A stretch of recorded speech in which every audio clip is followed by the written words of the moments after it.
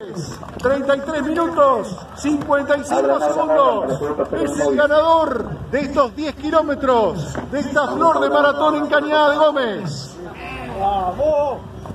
¡Vamos! ¡Vamos! Ezequiel, felicitaciones. Primero, ¿te esperabas este primer puesto?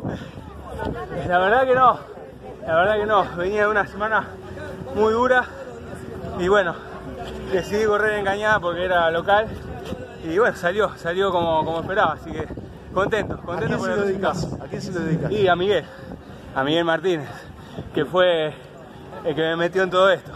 La verdad que le estoy agradecido por hacerme conocer todo el mundo del atletismo.